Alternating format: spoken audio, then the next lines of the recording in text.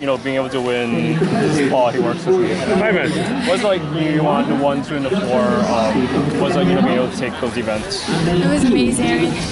Being able to win all those events and be able to um, show what I've been training for for a long time. And just want to thank my parents and all my coaches that helped me to get where I am today.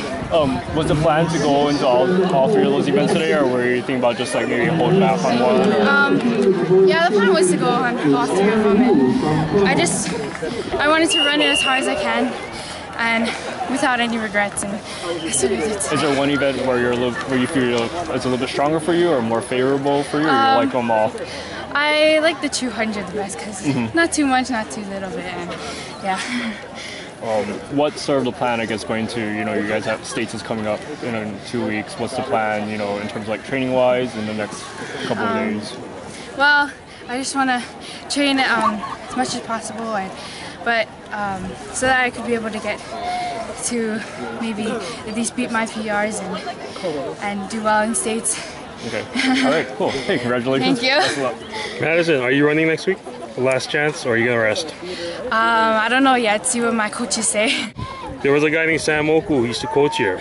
Everybody must ask you, are you guys related? Yes, he's my father and my coach. I thought maybe it's the uncle. See, Stan was like, well, you know, if that's his, if that's a dad, then why isn't she at Kamehameha? And I'm like, well, maybe it's a niece.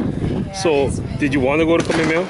I wanted to go to Kamehameha since I was in kindergarten, but I tried every year and I never got You it. live, in, you guys live in town, I'm guessing. Uh, no, we live in Kaneohe, so Oh. only a few openings for like 200 Yeah, yeah. people. Kaneohe is pretty populated, so the Yeah. quota number is probably low.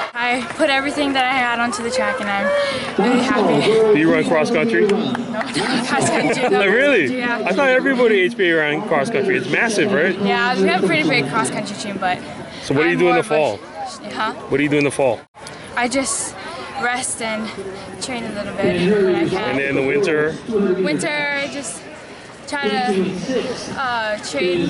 Yeah, does your dad train you, or you go completely separate? Um, my dad. Yeah. Yeah.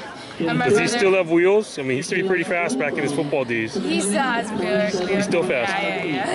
yeah. Can you outrun him yet? Oh, yeah. Really? Yeah, yeah. No. Does he actually race you in the 200? No, he.